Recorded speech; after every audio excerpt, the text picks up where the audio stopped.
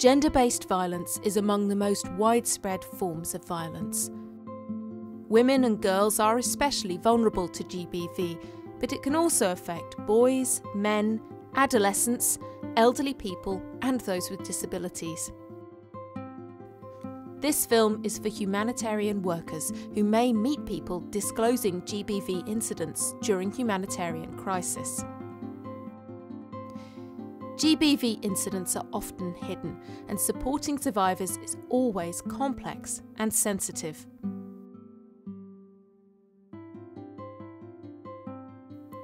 If a survivor approaches you and discloses an incident,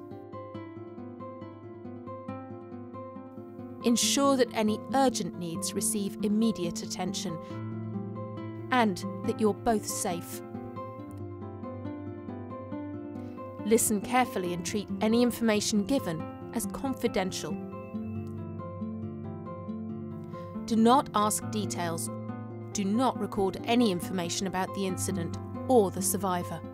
Inform the survivor of the options available to them. Only share accurate and up to date information about services available in the area and explain how to access them. If you are asked to help contact any type of service, the survivor must understand and agree to who will be informed and what will happen next. This is informed consent. If they give their consent, follow the referral pathway defined by GBV specialists in your area. Respect the survivor's choice. Do not counsel them or try and force assistance.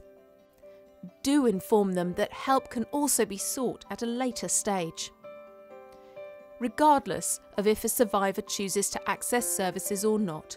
Do not share details of the incidents or personal identifiers unless the survivor asks you to do so.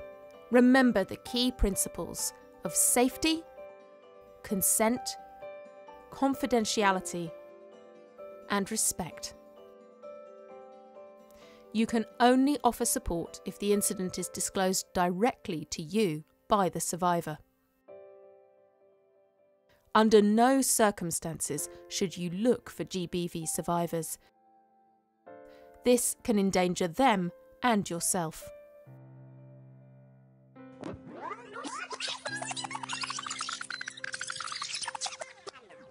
If someone other than the survivor approaches you, give them information about available assistance that they can share with the survivor. Explain that safety and confidentiality must be preserved.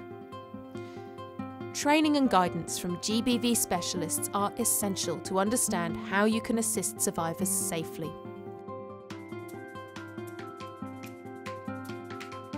Ask your manager what's available. You and your team should also be familiar with your agency's code of conduct and know that any sexual exploitation or abuse by humanitarians is strictly prohibited. If unsure of what to do at any point, seek advice from a GBV specialist whilst upholding confidentiality.